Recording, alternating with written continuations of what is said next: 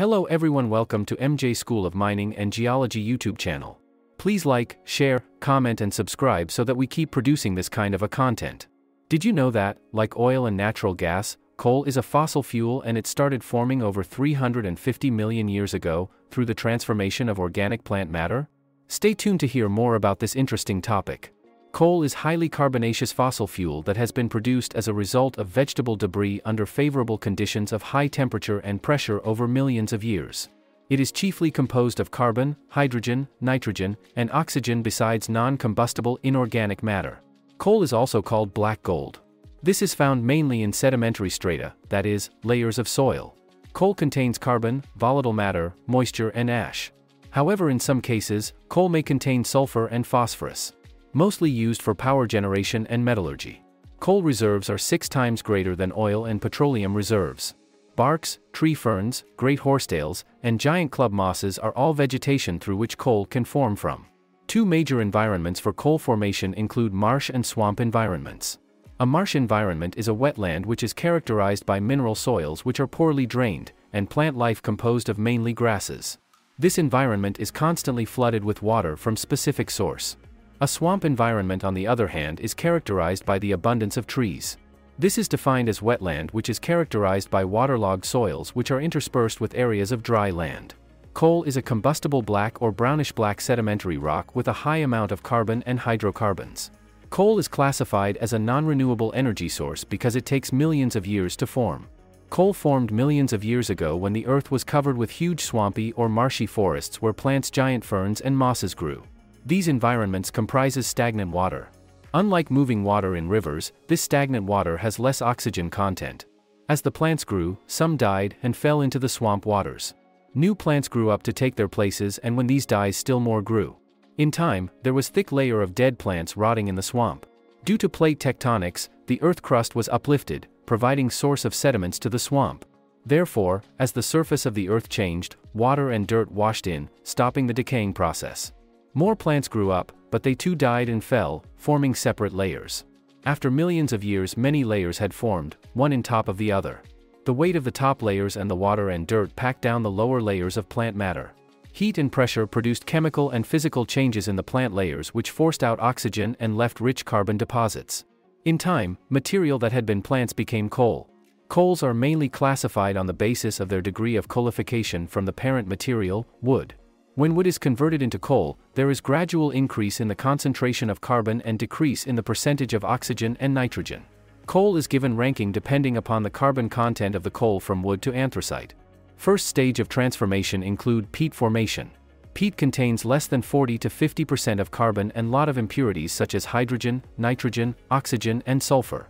It contains sufficient volatile matter and lot of moisture content. This gives the peat characteristic of producing more smoke and pollution during its burning.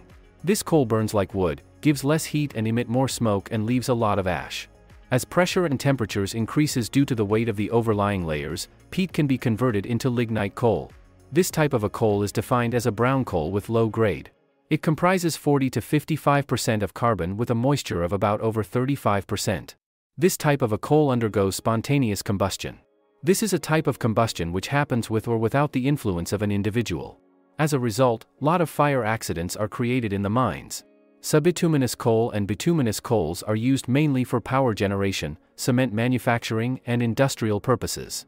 Subbituminous is used as fuel for steam electric power generation and is an important source of light aromatic hydrocarbons for the chemical synthesis industry.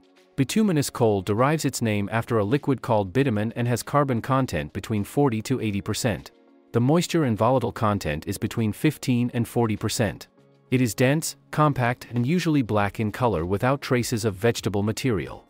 This coal has a high calorific value due to high proportion of carbon and low moisture. The last high-ranked or grade coal is termed anthracite. This coal has a very little moisture and volatile content but with high proportion of carbon content. It has semi-metallic luster and it ignites slowly. This means it loses heat slowly. This coal ignites slowly and burns with a nice short blue flame. Thus, complete combustion. It has little or no pollutants. Two types of coals include, coking coal and thermal or steaming coal. Coking coal is used to make coke, which is an ingredient in iron and steel production.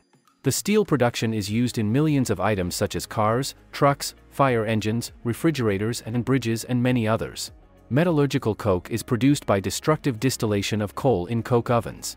Prepared coal is coked, or heated in an oxygen-free atmosphere until all volatile components in the coal evaporate. The material remaining is called coke. The coke can also be used for many industrial purposes.